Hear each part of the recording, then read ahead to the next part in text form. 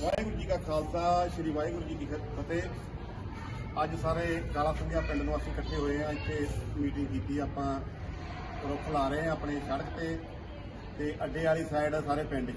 200 ਬੂਟਾ ਲਾ ਰਹੇ ਆ ਜੋ ਕਿ ਬਾਬਾ ਕਾਂਹ ਦਾ ਸਪੋਰਟਸ ਕਲੱਬ ਯੂਕੇ ਤੋਂ ਜਸਵੀਰ ਸਿੰਘ ਘੁੱਗੀ ਪ੍ਰਧਾਨ ਆ, ਜਿਹਦੇ ਉਹਨਾਂ ਵੱਲੋਂ 200 ਬੂਟੇ ਦੀ ਸੇਵਾ ਕਰਾਈ ਗਈ ਆ।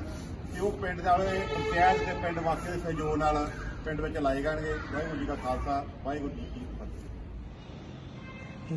ਵਾਹਿਗੁਰੂ ਜੀ ਕਾ ਖਾਲਸਾ, ਵਾਹਿਗੁਰੂ ਜੀ ਕੀ ਫਤਿਹ। ਅੱਜ ਗੁਰਦੁਆਰਾ ਖਾਸ ਕਾਲਾ ਵਿਖੇ ਸਾਡੇ ਕੋਲ ਐਨ ਆਰ ਆਈ ਸਾਡੇ ਵੀਰ ਸਰਦਾਰ ਬਲਜੀਤ ਸਿੰਘ ਜੀ ਸੰਘਾ, ਸਾਡੇ ਰਿਸਪੈਕਟਡ ਮਾਸਟਰ ਵਿਕਰਮਜੀਤ ਸਿੰਘ ਜੀ, ਸਾਡੇ ਮਨਿੰਦਰ ਜੀ ਬੂਟਾ ਭਾਜੀ ਤੇ ਨੰਬਰਦਾਰ ਹਰਨੇਕ ਸਿੰਘ ਜੀ ਅੱਜ ਇੱਥੇ ਪਹੁੰਚੇ ਆ ਤੇ ਇਹਨਾਂ ਨੇ ਇੱਥੇ ਪਿੰਡ ਕਾਲਾ ਸੰਘਿਆ ਵਿਖੇ ਪਿੰਡ ਦੇ ਵਿੱਚ ਬੂਟੇ ਲਾਉਣ 200 ਬੂਟਾ ਲਾਉਣ ਦਾ ਜਿਹੜਾ ਉਹ ਕੰਮ ਸਾਡੇ ਤੱਕ ਪਹੁੰਚ ਕੀਤੀ ਤੇ ਰੰਭਿਆ।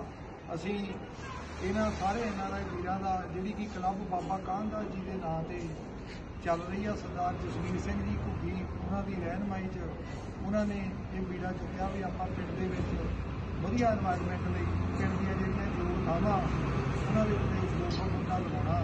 ਅਸੀਂ ਇਹਨਾਂ ਦਾ, ਐਨ ਆਰ ਆਈ ਵੀਰਾਂ ਦਾ ਬਹੁਤ ਇਸ ਗੱਲ ਤੇ ਧੰਨਵਾਦ ਕਰਦੇ ਹਾਂ।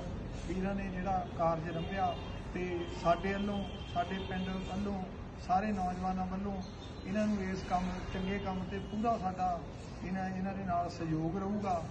ਤੇ ਜਿਹੜੇ ਸਾਡੇ ਐਨ ਆਰ ਆਈ ਵੀਰ ਸਰਦਾਰ ਗਰਮੇਸ਼ ਸਿੰਘ ਗੇਜੀ ਯੂਕੇ ਤੋਂ, ਉਹ ਵੀ ਇਨੀ ਦਿਨੀ ਸਾਡੇ ਪਿੰਡ ਪਹੁੰਚੇ ਹੋਏ ਨੇ।